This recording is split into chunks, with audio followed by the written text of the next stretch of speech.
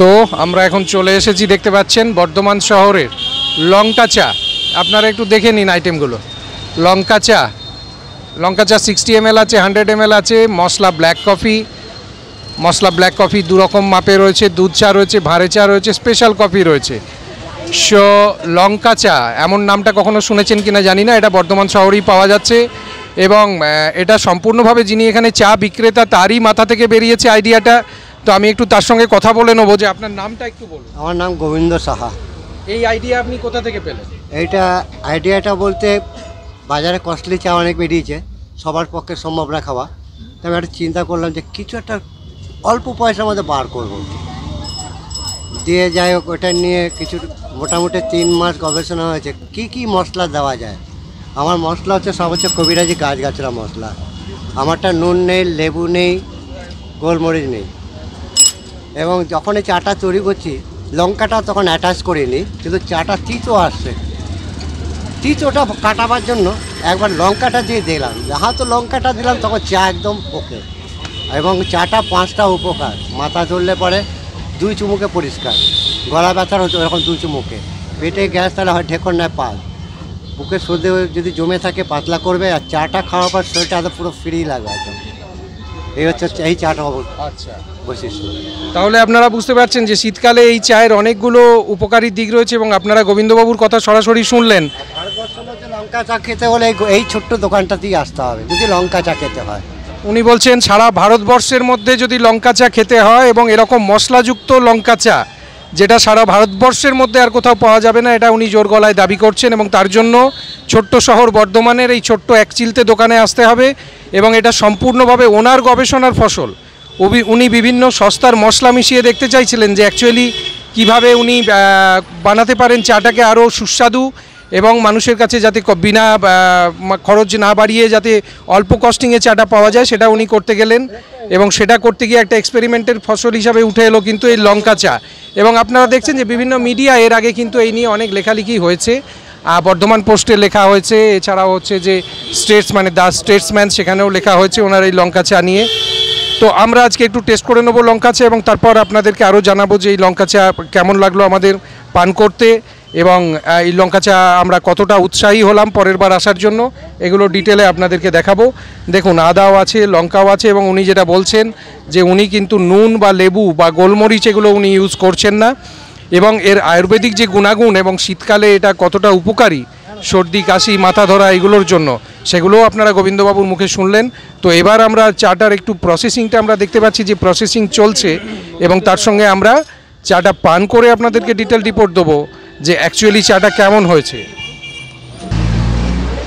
লঙ্কা চায়ের প্রসেসিং চলছে, আপনারা দেখতে পাচ্ছেন, জলের মধ্যে কিছুটা আদা দেওয়া হয়েছে এবং জল, চা পাতাও কিছু দেওয়া রয়েছে এবং সেটা ফুটছে। এরপর উনি যেটা দেবেন, ওনার মশলাগুলো ওটা ওনার একেবারে সিক্রেট ব্যাপার, সেই জায়গাটা কখনো পাবলিকলি করা যাবে না।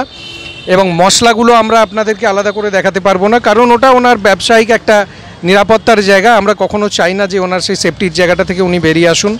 তো উনি বেশ কিছু মশলা দিচ্ছেন এবং মশলাগুলোর গুণাগুণ আমাদেরকে বলেছেন সবটাই ডিটেলে আমরা চাটা তৈরি হয়ে যাক, তারপর পান করে আপনাদেরকে জানাব যে চায়ের কেমন আমাদের ভালো লাগল এবং আমরা কতটা উৎসাহী হলাম।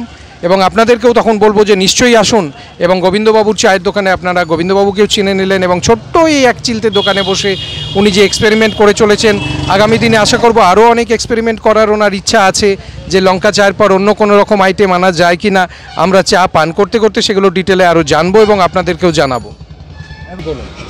যিনি প্রতিটি রিপোর্টারকে আমার বলা আছে মশলাটা সিক্রেট বলা হয় না। কোনো সময় যদি চায়ের উপর ডাউট হয়, আমার কাছে চাইবেন না। কাস্টমারের হাত থেকে কাপটা অনুরোধ করে নেবেন যে, ল্যাবে যাবেন, আমি ওখান থেকে মাথা উঁচু করে আসব। মাথা নত করে না, মাথা উঁচু করে আসব। ধন্যবাদ। আমাদের বর্ধমান শহরের গর্ব গোবিন্দবাবু এবং ওনার কথা আপনারা নিশ্চয়ই শুনলেন। উনি এতটা জোর দিয়ে বলছেন এবং আমরা সেই চা আজকে এখানে পান করে দেখব যে কেমন হচ্ছে লঙ্কা চা।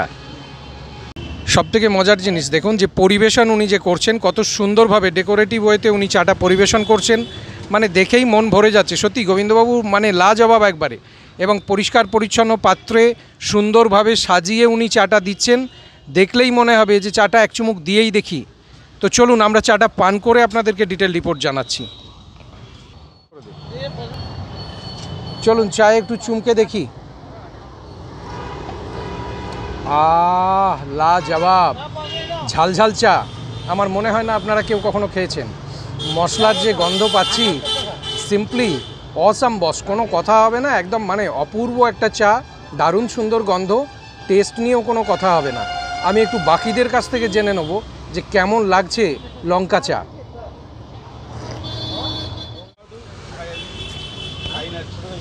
লঙ্কা চা আপনার কেমন লাগছে? আজকে যে এখানে এসে লঙ্কা চা পান করছেন লঙ্কা চা কেমন লাগছে? দারুণ লাগছে দারুণ দারুণ খেতে। স্বাদ গন্ধ নিয়ে কিছু বলবেন বিশেষ কথা?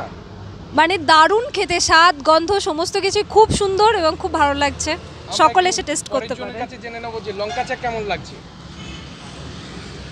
মনে হচ্ছে যেন মানে এনজয়ের সাথে খাচ্ছি আর কি। মানে মনে হচ্ছে যেন হ্যাঁ সত্যি লঙ্কা চা মানে অনেক আগে তো অনেক শুনেছিলাম বাট মানে আজকে মানে মানে এসে মানে বুঝতে পারলাম যে না সত্যি কাকা খুব সুন্দর লঙ্কা চা বানান এবং আপনারা অবশ্যই এখানে এসে ট্রাই করবেন এই লঙ্কা চা নাহলে কিন্তু অনেক কিছু মিস হয়ে যাবে এই লঙ্কা চা। চা কি আপনি আগে কোথাও পান করেছেন? না না এই প্রথমবার আমি এই লঙ্কা চা খাচ্ছি আর কি আর খুবই সুন্দর লাগছে। আচ্ছা আমরা আরেকটু আরেকটু জেনে নেব যে লঙ্কা চা কেমন লাগছে। খুবই ইউনিক একটা ফ্লেভার দারুণ খেতে। এরপর আমরা আরেকটু জেনে নেব লঙ্কা চা সম্পর্কে। খুবই ভালো। তাহলে আমরা মোটামুটি যা রিভিউ পাচ্ছি লঙ্কা চা দেখা যাচ্ছে সবাইকার জন্য বেশ ভালো। এখানেও আমি একটু জেনে নেব যে লঙ্কা চা আপনার কেমন লাগছে? দারুণ লাগছে এই ধরনের চা আমি আগে কখনো খাইনি। তাহলে আমরা মোটামুটি একটা রিভিউ পেয়ে যাচ্ছি যে এই চা অনেকের কাছেই ভীষণ রকম নতুন এবং সবাই বেশ আরাম করে শান্তিপূর্ণভাবে লঙ্কা চা পান করছেন এবং এই শীতের মরশুমে তো সিম্পলি লাজবাব সর্দি কাশি হাঁচি এক ঝটকায় সব আপনার দূর হয়ে যাবে। আসুন বর্ধমানে গোবিন্দবাবুর দোকানে এবং আপনারা এক চুমুক লঙ্কা চা এখানে পান করেই যান। তাহলেই বুঝতে পারবেন যে ডিফারেন্সটা কী। তো আমি একবার গোবিন্দবাবুর কাছ থেকে একটা জিনিস জেনে নিতে চাইব, যে মোটামুটি কতটা জলে আপনি কতটা লঙ্কা দিচ্ছেন? আমি জলের উপর নির্ভর করে না, লঙ্কা ঝালের উপর নির্ভর করে আমাকে লঙ্কাটা দিতে আমি এক সসপ্যানে যখন চাটা চাপাই, তিন চারবার আমাকে চেক করতে হয় যে আমার কতটা ঝাল লাগবে, কতটা আমার খদ্দের খেতে পারবে। মানে টেস্টটা যেন খারাপ হয় বা ঝাল যেন না বলে। এই সেই হিসাবে আমাকে লঙ্কাটা ইউজ করতে হয়। আর আরেকটা জিনিস বলব যে আর কোনো নতুন এক্সপেরিমেন্টের ইচ্ছা আর আছে আর একটা মশলা দুধ চায়ের উপর আমার মানে ওটা তৈরি হয়ে আছে কিন্তু জায়গার অভাবে হচ্ছে না। আচ্ছা। কারণ আমার এমনিতে যে কটা আইটেম আছে চারটে সসপ্যান আরও দুটো সসপ্যান বেড়ে যাবে। আপনার এই চা খেয়ে আমার একটা জিনিস খুব মাথায় এলো যে রসুন দিয়ে করলে কেমন হবে? না রসুনটা সবার ভালো লাগবে না। আর দ্বিতীয় কথা নিরামিষের মধ্যে আসবে না একটা নিরামিষ নিরামিষের মধ্যে আসবে না। তাহলে ব্যাপারের জন্য ওটা এড়িয়ে যেতে হ্যাঁ, চাইছে হ্যাঁ। আর রসুনে আসবে না। আচ্ছা এই সাজটা আমরা পাবো না হয়তো। যেমন লিট্টির আচার বা কখনো হয়তো টক চা কিছু টক ফ্লেভারের কিছু করার যদি আপনার ইচ্ছা থাকে বা এরকম নতুন কিছু আইটেম আর যেটা ভাবছেন। সেটা হবে চেষ্টা করছি। তাহলে আমরা আশা হ্যাঁ, করছি আগামী দিনে নতুন কিছু একটা ফ্লেভার পাবো। আপনার কাছ থেকে। আর রসুন দিয়ে যে পেঁয়াজ দিয়ে লোকে বলা হয়, ওটা আস্তা গন্ধ হ্যাঁ, পেঁয়াজের একটা আস্তে। গন্ধ একদম একদম। ওটা নিয়ে মুখ দিয়ে ফেলে দেবে। আর এটা চাটা আমার যে লঙ্কা চাটা চেটে কুটে খাবে। মানে আরেকটু হলেও ভালো হয়। ঠিক ঠিক ঠিক ঠিক ঠিক ঠিক ঠিক। অনেক ধন্যবাদ আপনাকে। এখানে আমরা আরেকজনকে দেখতে পাচ্ছি যিনি পারতপক্ষে চা পানই করেন না। চা পানি করি না। আজকে আমরা দেখতে পাচ্ছি তাকে যে তিনি চায়ের কাপ হাতে ধরে। গোবিন্দবাবুর দোকানে এসে চায়ের কাপ হাতে ধরে তো তার কাছে আমরা একটু জেনে নেব চা এবার তো আমি আমি তো নেশাগ্রস্ত হয়ে যাবে মনে হচ্ছে না গায়ে চায়ের জন্য। এবার আমাকে তো আসতেই হবে। কোনোদিন চা পান করি না। আমি তো পঁয়ত্রিশ বছর চল্লিশ বছর তো হয়ে গেল। আমার তেপ্পান্ন বছর বয়স আমি কোনোদিন চা খাইনি। চা আমার পছন্দই ছিল না কিন্তু এই চাটা খেয়ে মনে হচ্ছে আমার নেশাগ্রস্ত হয়ে যাব এবার থেকে। খুব ভালো লাগল খুব ভালো লাগল। তো আপনারা শুনতে পাচ্ছেন বিভিন্ন মানুষের বিভিন্ন বক্তব্য চা নিয়ে এবং তারা এই লঙ্কা চা পান করে বলছেন যে নেশাগ্রস্ত হয়ে যাব এত ভালো লেগেছে। তো আপনাদের সকলকে আমন্ত্রণ রইল গোবিন্দবাবুর এই ছোট্ট এক চিলতে দোকানে। এসে একবার অপূর্ব একটা স্বাদ নিয়ে যান মনে খুশি নিয়ে যান। ধন্যবাদ ভালো থাকবেন সকলে।